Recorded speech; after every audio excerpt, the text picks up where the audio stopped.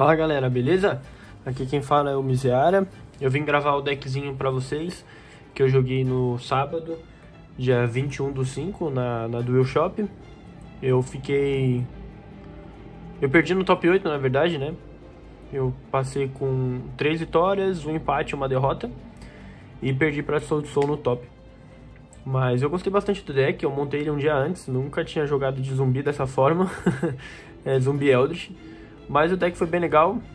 Mas espero que vocês deixem um like, se inscrevam no canal, compartilhem com os amigos e deixem um comentário aí para poder ajudar a divulgar mais o canal aí, tentar trazer mais vídeos para vocês. Bom, vamos lá. Eu vou mostrar o deck. O deck tem 42 cartas e vou explicar o porquê de algumas escolhas. Ele está um pouco diferente do que o pessoal está usando hoje, mas eu prefiro usar a engine de Zombie World de main em vez de side, né? Aí eu vou pro primeiro starter do deck, que são três Unizombie. O primeiro efeito de descarta da mão foi o que eu mais usei, porque o efeito de descarte é custo, né? Você descarta uma carta na mão, escolhe um monstro no campo, e se isso acontecer, você aumenta o nível dele e você só pode atacar com monstro zumbi. Essa questão, essa restrição é tranquila, e o outro efeito é que você dá um Foolish e também aumenta o nível.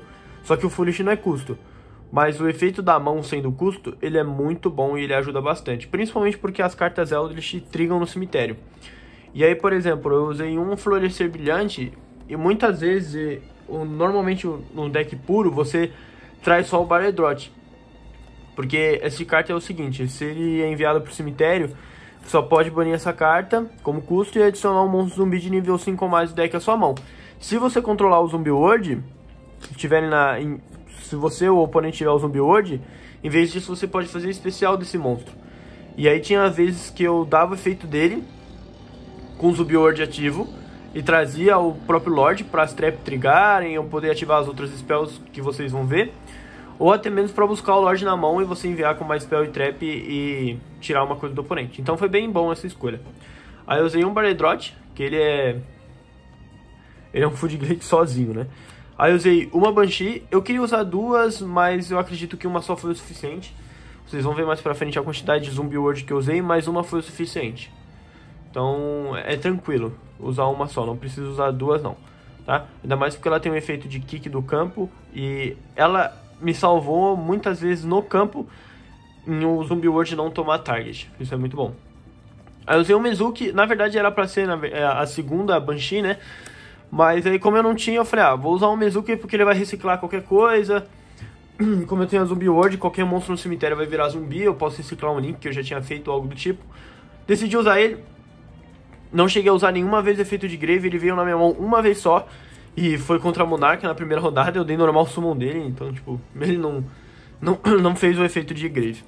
Aí eu usei dois Golden Lord, dois é o suficiente, esse deck recicla muito é, ele, você consegue acessar ele de uma forma mais fácil, sem ser as traps, você consegue acessar pelo Unizombie, você consegue acessar pela Glow Up, então ele é bem fácil de trazer, então não precisa de três. Aí de Hand Trap eu usei duas Ashes, duas Bellies, e o melhor delas é que elas são zumbi, então você consegue dar o efeito do Baredrot em resposta, porque são efeitos de zumbi ativados, isso é muito bom, isso é bem legal. Aí eu usei dois de The Crow, e de monstro foi só isso.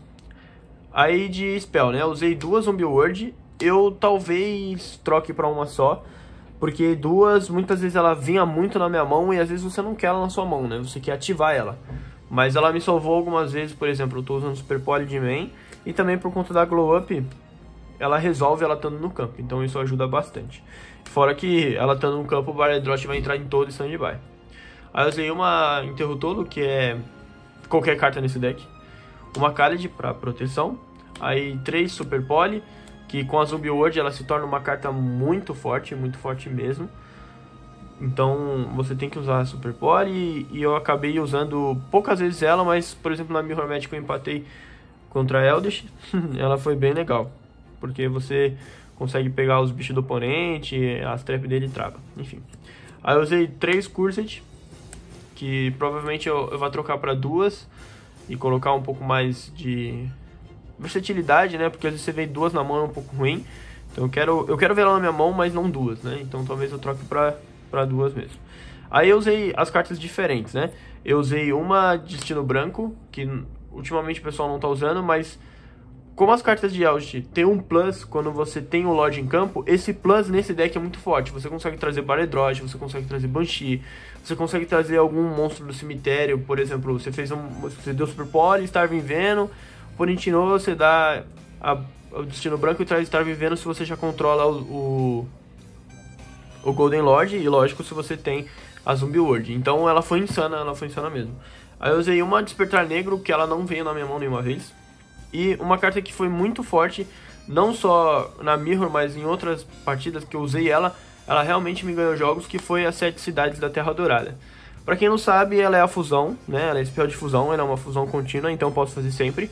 E o melhor dela é que eu não preciso fazer a fusão do Eldritch, eu posso fazer qualquer fusão usando monstros zumbis do campo ou, do ou da mão.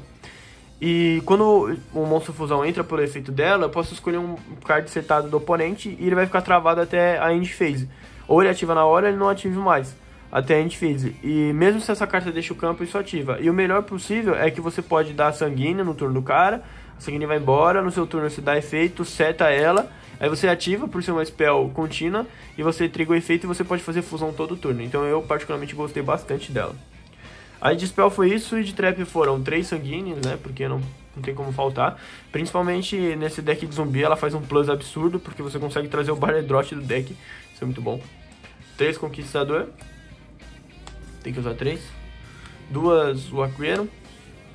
Aí vem as, track, as Trap Fruitgate, né? Eu usei três Rivalry, que com a Zumbi World essa carta se torna bem mais forte. Ela se torna três vezes mais forte. E duas Skill Drain e uma Judge. Era para ser a terceira Skill Drain, mas não foi disponível. Aí eu usei duas e uma Judge e ela resolveu. Quando ela precisou, ela tava lá e ajudou. É, por exemplo, neguei mais spell do que monstro, então ela foi melhor do que a skill drain. Mas era pra ser a terceira skill drain. E aí esse é o main deck de 42 cartas. Aí extra deck tem Link Spider, porque você tem que usar por conta das trap do, do Lorde. Link Caribou por conta do Glow Up. Uma Fênix, que eu gosto bastante disso. E um Unicórnio, que também me ajudou bastante. A melhor carta do meu extra que eu usei em quase todas as partidas foi a Sugadora. Ela é muito forte, ela compra, ela pode tributar monstro do oponente, eu gosto demais dela. Um Vendred, que ele dá efeito de na damage step, mas eu não cheguei a usar nenhuma vez. Aí de Exceed, o combinho canhão que tem que ter, né? Talvez eu tire esse e use só o outro canhão que dá burn. E um Plagues, que também é muito forte. A difusão, né? Vem um fusão dos Eldritch e é muito forte, principalmente porque a Sanguine, ela fala assim, você pode trazer Eldritch monstro. Então você, se você não tem o Lorde, você pode trazer ele. E eu acredito que ele é um Lorde, logicamente, melhorado, porque ele não pode ser destruído por batalha nem por efeito em nenhum momento, e ele já tem 3 e 8. Fora que ele tem um outro efeito de tributar um monstro do oponente, zumbi, um monstro zumbi no campo e tomar o controle de um monstro do oponente. Se você tem um zumbi word, você pode tributar um monstro do oponente e pegar outro monstro. Então ele é muito forte. Aí o dragão Alma Infernal, né, que é alvo para Super Poly com a Zumbi World, um Peçanha, um Pedra Plant, um Modragon e um Ignister. Eu sabia que provavelmente ia ter Salamangreat, inclusive foi um dos caras do top, mas eu não cheguei a usar. O que eu mais usei, na verdade, foram o Lorde e essas duas fusões que eu acabei nem usando. Acho que uma só eu usei com Super Poly, que foi essa aqui. Mas o Star Vivendo, por exemplo, eu fiz fusão usando o meu o meu Baledroth e eu acho que a Glow Up ou a Banshee e fiz Star Vivendo com a fusão dos Eldritch, com a spell da fusão dos Eldritch, então foi muito bom. Aí de side eu usei dois Token Collector, porque ainda existe Brave Token e ainda tem Soul Soul, né, não é que eu perdi pra um. Aí três Twin Twister, né, para remoção, porque você precisa também de remoção, né, porque senão não tem como. Às vezes você precisa lidar com a setada antes de você começar a jogar, porque é um deck mais combo do que controle, né. Por mais que o meu extra deck tá bem limitado, não tem tantos síncros, não tem síncros, né, não tem tantos links diferentes, ainda você precisa que, por exemplo, o Unizombie passe. Então aí é bem bom, principalmente na Mirror, por exemplo. Aí eu usei dois Raigeki, para você lidar com monstro e dois Dark Hole, porque eu não, terceira, não tenho a terceira High Geek e a Dark Hole no More ela é, ela é ruim porque você não consegue matar. Então é melhor você dar uma Dark Hole, o cara, o oponente nega, você dá a outra e já era. E como o Lorde vem sem não podendo ser destruído por efeito, a Dark Hole é bem tranquila. Aí eu usei 3 Dimensional Barrier, né, porque tem que usar nesse formato, eu até cogitei em usar de main deck. E usei 3 do vírus epidêmico. É, na teoria essa carta é muito boa, né? Você, tanto na Mir ou com qualquer outro deck, você consegue usar sendo primeiro muito bom, tributando um monstro Trevas. O grande problema é que você só consegue tributar o Baledrot. E nem sempre você consegue trazer o Baledrot tão facilmente, né? Não é sempre que você consegue trazer. Não nesse deck no caso, mas se você conseguisse trazer o Baledrot com mais eficácia do que com esse deck, essa carta é uma boa opção. Bom, esse foi o deck que eu fiquei no top 8 na, na Dual Shop. Eu ganhei de Dragon Link, de Vendred, de Monarca. Empatei com o Eldritch, do Marcelo, Eldritch Brandet, Marcelo é do meu time. E perdi para Tribigate do Valmir. E no top eu perdi para Soul. Mas foi bem legal, eu gostei do deck. Com certeza vou fazer algumas alterações. Mas o deck é bem bacana, ele é mais agressivo do que o Eldritch Stun, por exemplo, ou o Eldritch Brand, que eu também não sou muito chegado num deck tão, tão pra trás, podemos dizer assim. Eu prefiro mais um deck agressivo. Se você chegou até aqui, deixa o like. E é isso. Obrigado pela, pela companhia.